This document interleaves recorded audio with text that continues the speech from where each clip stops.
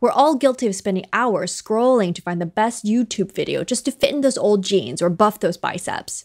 But have you ever wondered why we do what we do? Why exercise became a widely accepted prescription for good health? Yeah, up till now, we don't really know the detailed mechanism why exercise is good for you. It is really hard to believe in something that doesn't show immediate benefits. We have great news for those who still went out for a run during lockdown or followed their New Year's fitness resolution. For those who didn't, today's episode with Dr. Lee from Harvard will give you a reason to get back to your schedule. Dr. Chih-Hao Lee is a professor of molecular metabolism at the Harvard T-Chan School of Public Health We discuss his findings on an immune molecule that drives the metabolic benefits of endurance exercise. So let's dive in. 最前沿的科学研究 Science. Innovation und Wissenschaft. Kulturell. Mada Szkięta. technology. достижения كشف جديد Szkięce 一点步向 Pesquisa. Discovery. Rehashing science. Hello, everyone. Welcome back to another episode of your favorite podcast, Science Rehashed, where we dive deep into recent scientific breakthrough in life sciences. I am Mehdi Jorfi. My name is Shen Ning, and we are your co hosts for Science Rehashed. And today we wanted to make a very exciting announcement. We just initiated our Patreon account. Log into Patreon slash Science Rehashed and support our mission. Let's go back to Dr. Lee, talking a little bit about the health advantages of exercise for metabolic diseases and cardiovascular health. Exercise can increase your cardiovascular function and increase your metabolic capacity. So, for metabolic diseases, for example, I think every doctor will tell you exercise is the best drug to reduce your symptom or risk of metabolic disease. So, And conversely, we know that sedentary lifestyle or behaviors involving little or no physical activity are linked to higher incidence of diseases like cardiovascular disorders and also neurodegeneration and recently cancer.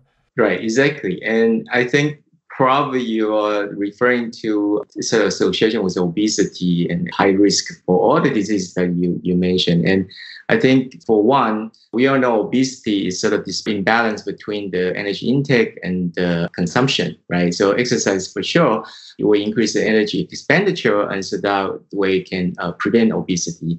You will find a list of other benefits on the internet, but we are here to know why and how. Dr. Lee mentioned about energy intake and expenditure. For muscles, this energy comes from burning fuels like fatty acids and glucose from the processes called fatty acid oxidation and glycolysis. This requires a coordination between different organs, especially adipose tissue, liver, and muscles, to supply muscles with enough energy reserves. And one key player within the cells is mitochondria, the powerhouse of the cell. You talked about muscle and energy. I want to dive into this one. And I think it's consistent between rodents and the humans, right? So if individuals who exercise at mild to moderate intensities, muscles use the fatty acid oxidation as a fuel. They prioritize fatty acids. Can you a little bit comment about the whole process, how this works, how they prioritize one fuel compared to another fuel? So this is actually a very fascinating human physiology, and like you say, it also apply to, you know, rodent and other animal. Is that when you start running, for example, uh, for the first 30 minutes, the muscle will try to burn glucose, and the glucose is coming from glycogen that's stored in the muscle, right? And so, but right around about 30 minutes, there's a switch. The switch is trying to conserve glucose. So the liver produce glucose, start to produce glucose, and but the glucose is not being used for muscle. Muscle somehow knows to convert the glucose to glycogen again and get stored. And at that right that point, muscle switch to burn fatty acid. Right. So this is a very interesting human physiology. So why is this important? As you already mentioned, after prolonged exercise, muscle needs a lot more energy, right? So burning fatty acids is a wise way to kind of you can release a lot of fatty acid from adipose tissue, and that's what also make it good for exercise, right? So reduce right. uh, fat accumulation in fat tissue. So burn fatty acid, and at the same time, you know, your cardiovascular system will increase the oxygen consumption, right? So that's also the reason why you increase your lung and heart capacity, right? Because you need to inhale a lot of oxygen. Why? Because when you burn fatty acid in the mitochondria, you need oxygen to produce ATP, right? So it's a very coordinated effort to try to keep you run as long as possible. So why you stop running? It's not because you're running out of fatty acid. It is when your mitochondria is saturated, capacity is saturated, it cannot burn any more fatty acid. At that point, then the muscle turn back to burn glucose. Now using glucose produce lactate. So the preserved glycogen is really the last resort to tell your body you, you had to stop at some point, right? And once the glycogen being released, glucose produce lactate. There's a term called lactate threshold. So this is actually the lactate concentration in your blood that tell the brain you have to stop. You cannot keep on going. So it's very interesting. And this lactate is the same molecule that gives you muscle cramps or burning sensation in the muscle after an excessive workout. It is really fascinating how our body has evolved to efficiently use its fuels. Indeed, many of the beneficial effects of exercise come from the activation of metabolism that promotes healthy systemic energy homeostasis. So, next, we were curious to know how the body switches between those fuels. One way to explain the metabolic benefit of exercise, people believe it is from the cytokine produced by the muscle during you know, exercise. Our paper tried to address that IL-13 or interleukin-13 is part of this reprogramming right at that junction of switching from you know glycolytic metabolism to oxidative metabolism. Uh, so that's kind of the, you talk about big picture, that's what uh, we try to accomplish. IL 13, which is short for interleukin 13, is a type of cytokine or a molecule secreted by immune cells into the blood, which will signal other cells to prioritize fatty acid oxidation over glucose breakdown during endurance exercise. In fact, when they compared a panel of cytokine profiles from the plasma of different groups of people, which included endurance trained people, obese and normal weight, sedentary men and women separately, they found that endurance exercise increased circulating IL 13 levels. The endurance trained group included women who performed more than one hour of aerobic exercise at least four times a week and men who were football players and runners.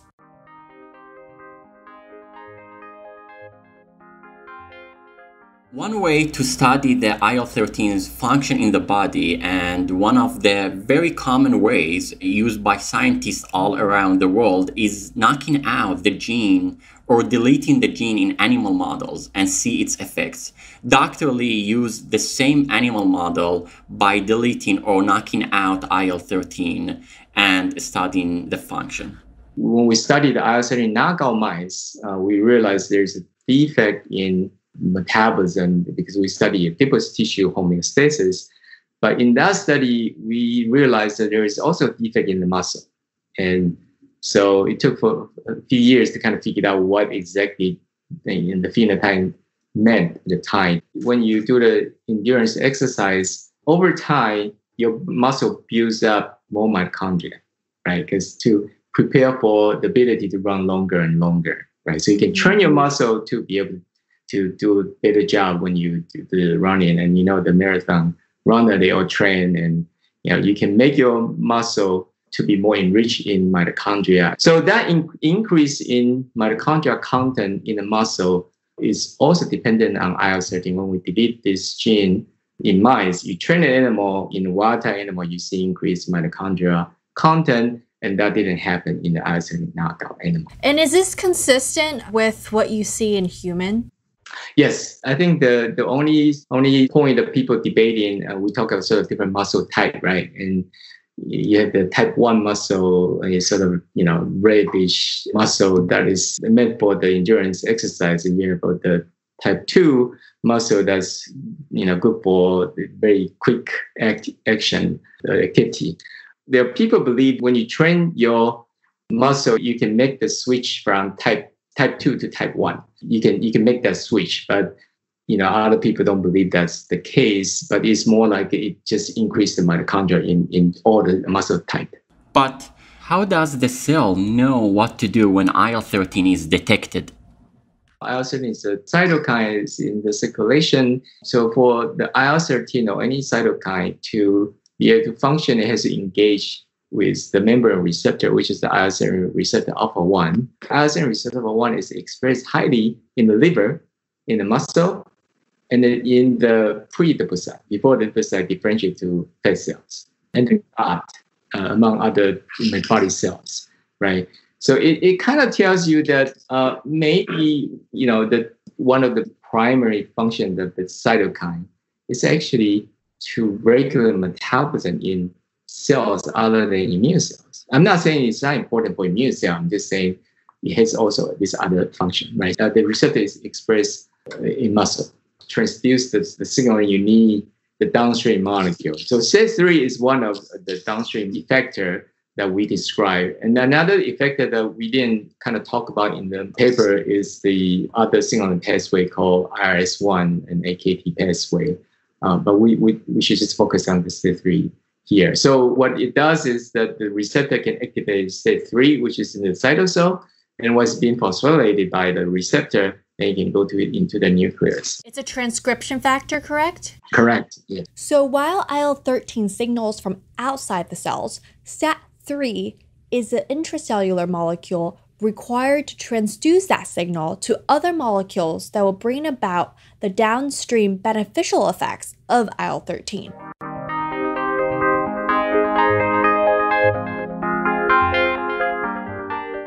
Important aspect of this paper I'm completely fascinated about and I want the listeners to know is the importance of communication between the different cell types in the skeletal muscle tissue.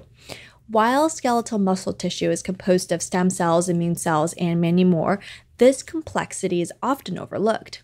So, what do you think about that, Mehdi? Indeed, I want to come back to the point where Dr. Lee mentioned that IL 13 is an immune molecule that might primarily have a metabolic function.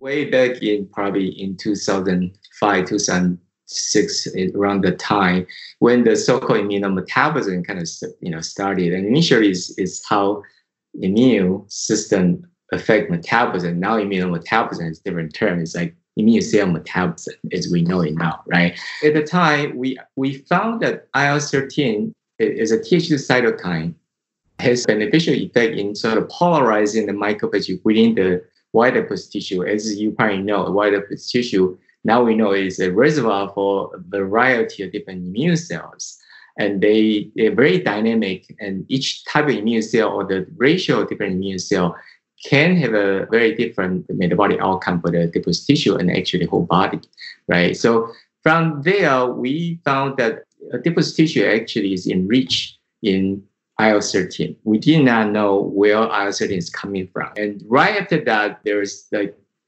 four or five paper published identification of this new type of cell called type 2 innate lymphoid cells or ILC2 cells. So what's interesting about these cells is that they're innate lymphoid cell, right? So if you think about lymphocyte, you think about adaptive immune response, but this mm-hmm. new cell, they're innate, uh, but they're lymphoid cells, right?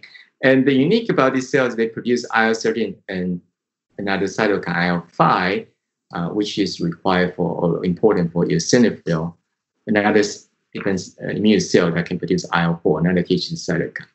So there is very active research following those identification of the immune cell, and the take-home message is that these cells reside in tissue, and they can produce IL-13 in response to different sort of challenges, including parasite infection. Their findings showed that ILC2 cells in the mouse skeletal muscle tissue increased in response to endurance exercise, and this may be the source of IL 13. So I really like this discussion kind of towards end regarding the host co-evolution with helminths, so worms essentially, right? Parasites. And how IL-13 has evolved in a way, perhaps in response to it. So, could you comment on that and your thoughts about how that came about? The study of IL 13 and the IL 13 producing cell, ILC2, that people started to think about what it means by coevolution between parasite and human. And you know, this is still the, the parasite still pretty common in wild animal, right? So it must provide some beneficial effect. And knowing what we know about cytokine IL-13 does, it probably does make sense. It may help human. So one function that we didn't talk about is IL-13, ILC2. They can also promote this, you know, so-called browning of white adipose tissue or beige cell right? So the beige cell is a type of adipocyte that burn fat rather than store fat, right? And they can burn fat to produce heat. And we describe in acid can promote exercise-induced metabolic benefit, including running capacity. There's sort of speculation, you can never prove that is for the human to migrate out of Africa. Again, this is not my own idea, right? So the parasite and this type 2 immunity may play a role in for the human to be able to produce, you know, heat, to be able to have endurance, kind of migrate out of the different uh, continent of the earth. You know, it's, it's interesting to think about. In short, the metabolic benefits gained during exercise may actually be the byproduct of the immune response to the increased metabolic burden due to ILC2 and IL 13 during parasitic infection. Knowing these benefits of IL-13 molecule, can we just take a drug that increases IL-13 and not exercise at all? For one, you're not going to use IL-13 as a drug because it has other other effect, including causing some other allergy response like asthma, right? But what we're looking at in it is the uh, locally produced IL-13 and very small increase in the circulation, that kind of response, rather than when you asthma attack or you have a parasite infection, you get you know thousand-fold increase in the blood. So that's a pathological versus physiological con- condition, right? so you, you can use IL-13 as a drug. You cannot use STAT3 as a drug, right? So then then what? What what is the implication of, of this, right?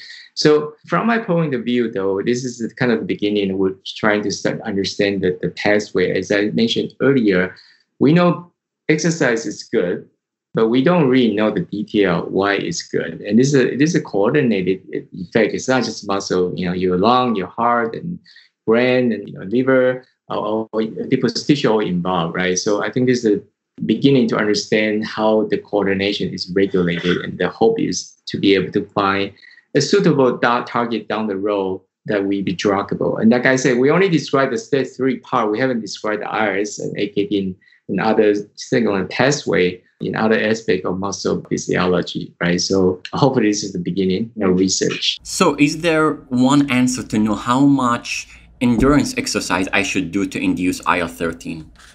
It's a difficult question to answer. I think it depends on individual, right? So, you know, and another thing we didn't touch upon is the so-called VO2 max, right? The maximum oxygen consumption rate that one can have. So there's a measurement for that. If you go to a clinic, you can measure your VO2 max, and that will tell you your endurance capacity because it was we talked about earlier how much oxygen you can take in and utilize is important for the muscle to can keep on going, right? So VO2 max is different for each person. Even though one answer doesn't fit everyone, American Heart Association recommends that for an adult, 30 minutes a day, 5 days a week is an easy goal to remember for endurance training like swimming, running, skiing, and biking. Dr. Lee says that this study may not be easily extended to other forms of exercise like yoga or flexibility training since it's difficult to measure those than to quantify a treadmill run.